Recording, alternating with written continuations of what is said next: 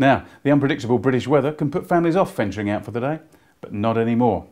At Shepreth Wildlife Park, we're building a brand new play barn, so you can come and spend time with us at any time of year. We've been filming it at various stages of construction, and it's now nearing completion and due to open this September. We'll confirm the date on our website nearer the time. This fabulous new facility is completely covered with its own play equipment, cafeteria and toilet facilities. Leading on from the main play barn is a separate room, ideal for children's parties and celebrations.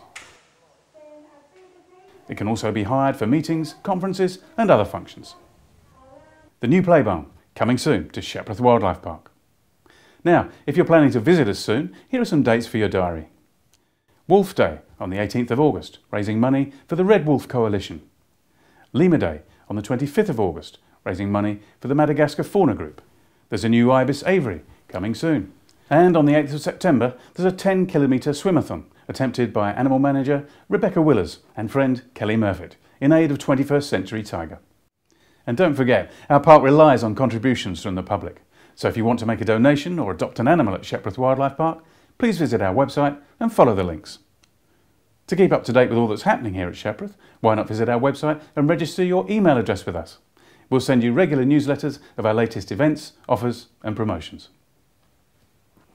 That's about it for now, and we hope you've enjoyed our latest video news bulletin from Shepreth Wildlife Park. We look forward to seeing you soon.